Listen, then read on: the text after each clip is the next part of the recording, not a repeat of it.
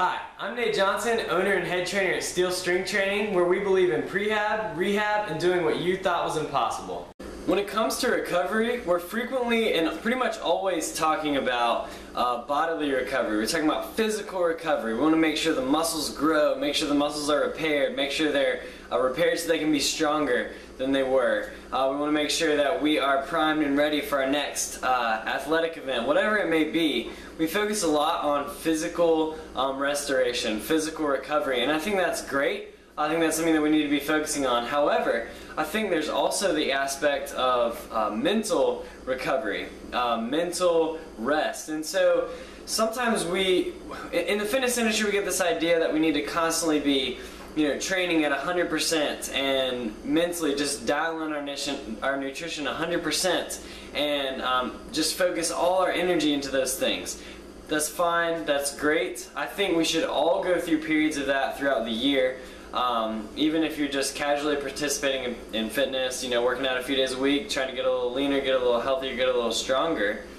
So, uh, but I think it's good to go through times uh, where you test your mind, um, test your willpower, and go uh, with an extreme diet, or try to get really lean, or uh, focus for 12 weeks on building as much muscle as you can. Whatever it is, I think it's important to go through periods of that. But just as important as those periods of uh, strenuous um, mental prep and planning, I think it's just as important to make sure that we take time off, whether you go through um, just more of a moderate intensity workout where you're not just grinding day in and day out. Um, that'll give your your body a rest, but it'll also give you um, a rest mentally. Kind of back off on the nutrition a little bit. Make sure you're still eating healthy, um, following good nutrition principles, but not necessarily you know, counting every single calorie that goes in your mouth all the time.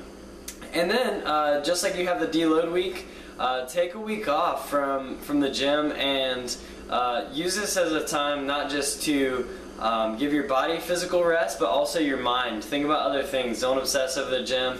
Uh, take time to get away from it all. And what I found is this will always put you in a better position to attack that next goal 10 times better and more effectively than you would if you were constantly trying to perform at 100% because you simply can't.